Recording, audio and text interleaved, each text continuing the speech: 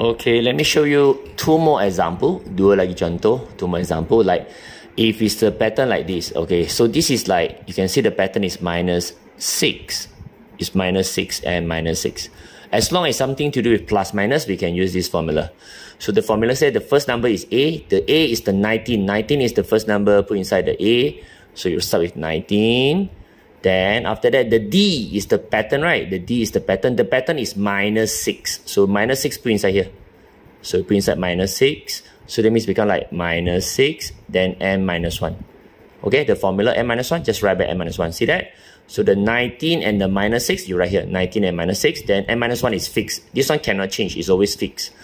Then, okay, we open the bracket, negative 6 multiply inside. So be careful with negative. Negative 6 go in, you get negative 6n. Negative, negative, you get positive. 6 times 1, you get 6. Okay? Finally, 19 plus 6. Then you get your 25 minus 6n. So this done for the first part. This time for the question number 2. Number 3, okay, let me show you one more. This is a plus 6. You can see it's a plus 6. It's like terbalik from just now, right? Plus 6. So the first number is 1 and then plus 6, right? The pattern is plus 6. So you write 1 plus 6. Behind is always n minus 1. Then open the bracket. 6 go in, you get like 6n minus 6. Simplify further. 1 minus 6, you will get negative 5.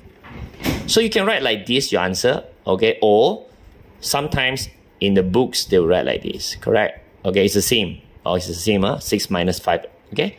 It's the same. So that's it. Thank you